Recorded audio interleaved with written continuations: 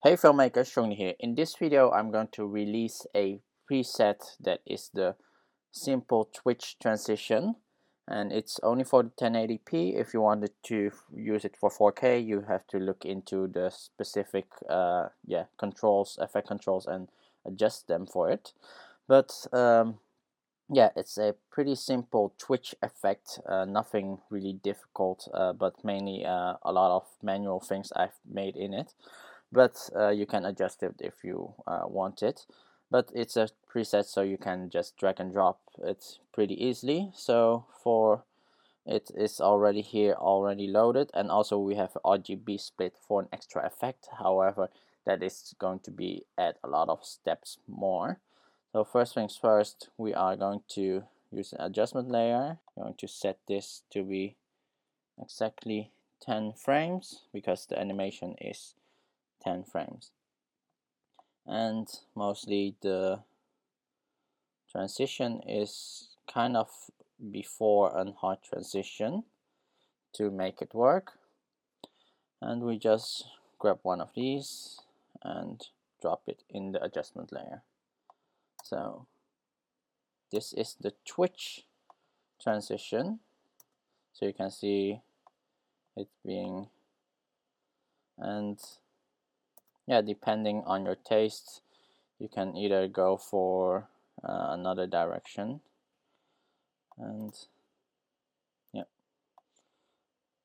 So it's just what it does it zooms in slightly and then it does a quick uh, yeah twitch and also changes the exposure of the shot making it a yeah pretty simple Twitch transition that you can use especially nice like in maybe of a clubbing video.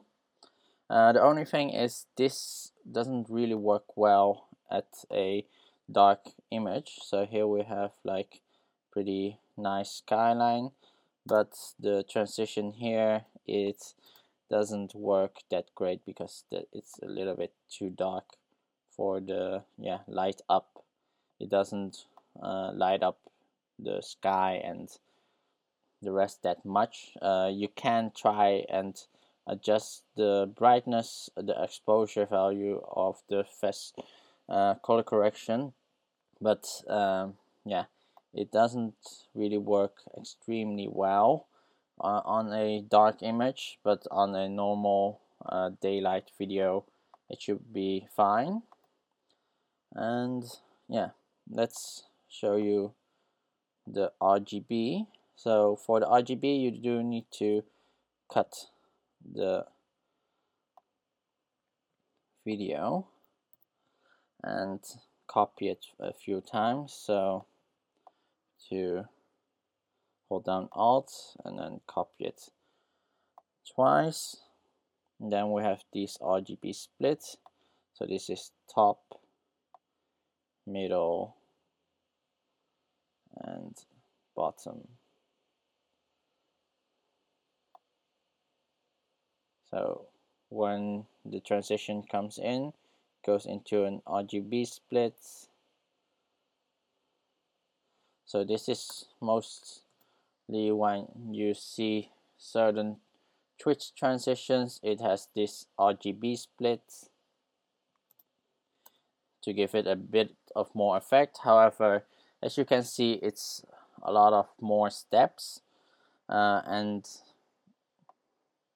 personally it's not purposely needed so let's do so with just the only the adjustment layer yeah the difference isn't that big it's only just the first few seconds you see this RGB split but here we don't see that RGB split. So it depends on your taste if you want to have that RGB split or not but it's in there. And yeah pretty much this is all uh, you need to know how to use them. And yeah same again uh, with the rest is go into your preset go here and then press import to import the presets. So these are not plugins but presets. So that was mainly it. Uh, there will be a link in the description below where you can go and download these presets. And um, yeah pretty much it will this time be all inside just a bin uh, with all the presets instead of being loose. So you only have to import just one file instead of multi. And um, yeah there will be again a social lock on the yeah download link. Just uh, subscribe like or anything uh, to show your support. And yeah hopefully you guys find it a nice transition and you would help you a lot with your uh, yeah editing and just make it easier to add a twist twitch transition without needing to uh, install a plugin or do a very long tutorial about it. So yeah that was mainly it.